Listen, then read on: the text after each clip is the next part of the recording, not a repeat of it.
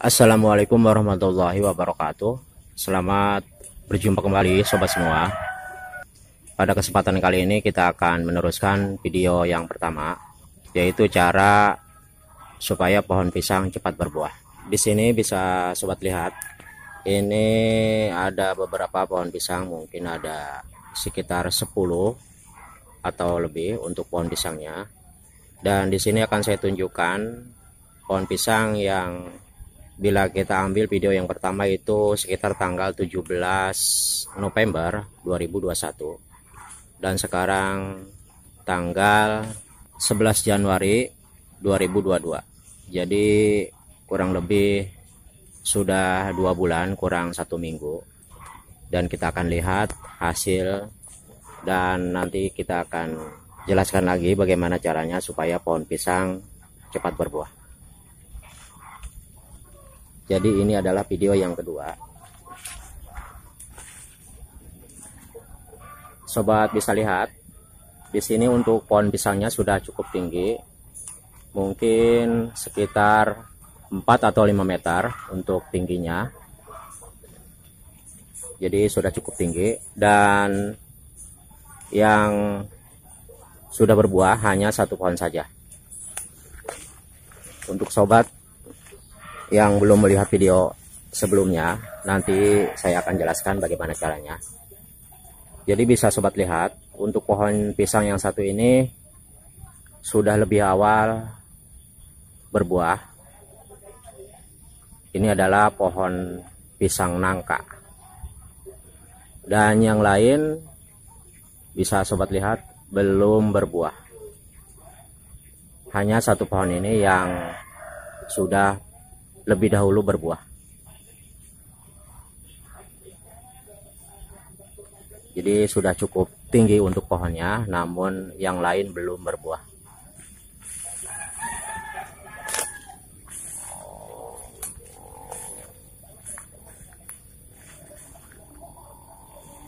Bisa sobat lihat untuk pohon pisangnya mungkin tidak cukup tinggi. Jadi menurut saya ini kalau melihat dari buahnya ini cukup pendek untuk ukuran pisang pohon nangka. Jadi mungkin sekitar 2 meter setengah atau 3 meter. Jadi masih bisa dijangkau oleh tangan. Dan untuk buahnya di sini ada 6 sikat atau 6 sisir. Jadi cukup banyak dan untuk buahnya di sini bisa sobat lihat cukup besar. Jadi cukup memuaskan. Namun yang lain mungkin bisa sobat lihat ini belum ada yang berbuah. Dan untuk usianya ini sama tadinya dari tunas seperti ini. Jadi tadinya dari tunas namun setelah saya pangkas untuk daunnya pohon yang satu ini lebih dahulu berbuah. Jadi jauh mungkin perbandingannya sampai 3 atau 4 bulan dengan cara pemangkasan. Dan untuk sobat semua yang belum tahu caranya di sini akan saya tunjukkan caranya. Jadi kalau memang pohon pisang kita ingin cepat berbuah umpamanya dari tunas seperti ini sudah jadi atau anakan. Jadi pisang anakan bukan menanam dari awal. Dan untuk caranya di sini jika pohon pisangnya sudah seperti ini di awal-awal kita harus pangkas untuk daunnya. Jadi kita pangkas saja. Untuk goloknya ini kurang tajam. Jadi kita pangkas saja kita sisakan hanya empat helai saja. Jadi kita sisakan hanya empat helai saja. Dan nanti setelah tumbuh daun lagi seperti ini kita pangkas yang bagian bawahnya. Jadi caranya cukup mudah. Kita pangkas daunnya dan kita sisakan hanya empat helai saja jika ini sudah melebar untuk daunnya dan sudah tumbuh lagi tunas barunya atau daun barunya kita pangkas saja bagian bawahnya. Jadi kita sisakan hanya empat helai saja. Dan yang ini kebetulan untuk induknya ini mati. Mungkin terlalu dekat dengan pupuk.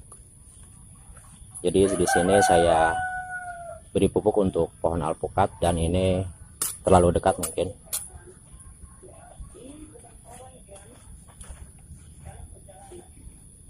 Jadi cukup mudah saja supaya pohon pisang kita pendek dan bisa berbuah.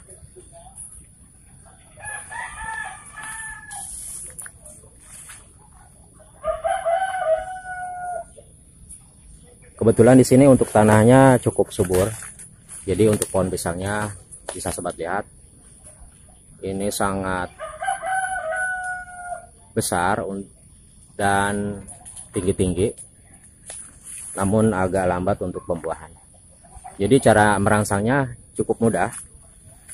Kita pangkas saja dan kita sisakan empat helai saja untuk daunnya dan yang lain ini sepertinya sudah mulai namun agak belakang.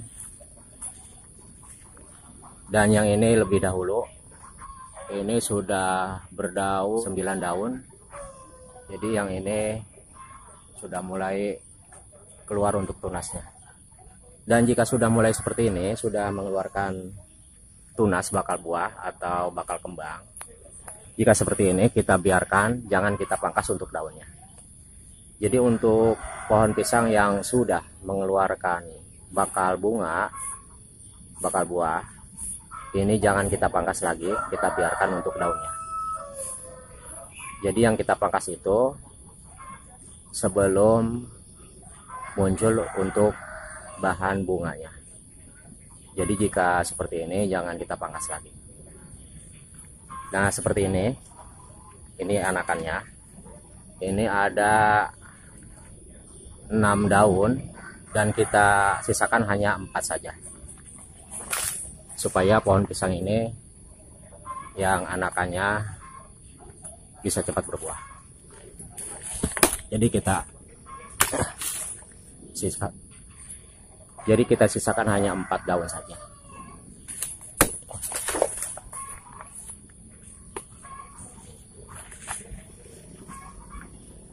Jadi hanya empat daun saja kita sisakan.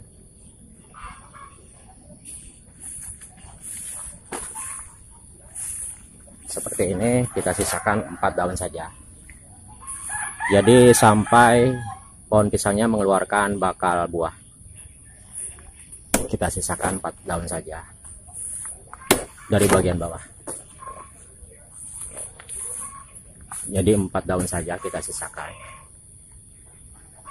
yang ini juga kita sisakan empat daun saja. Kita pangkas.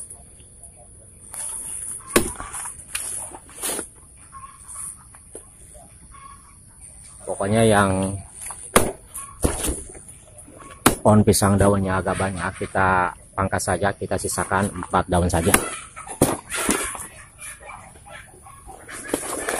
Dan insya Allah pohon pisang yang kita pangkas. Ini akan cepat berbuah.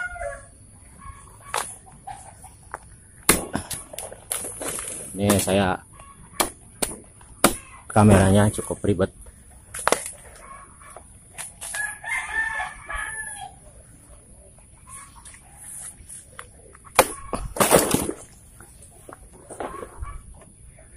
Seperti ini. Bisa sobat lihat. Saya sudah pangkas per pohonnya hanya empat daun saja.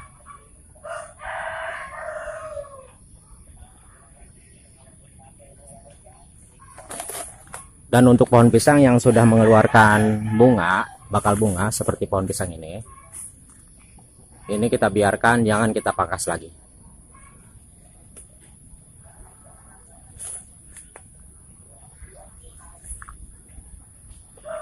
Bisa sobat lihat pohon pisangnya sudah sangat tinggi namun yang baru berbuah satu dan yang kedua ini ini baru menyusul mulai mengeluarkan bakal buah atau bakal bunga.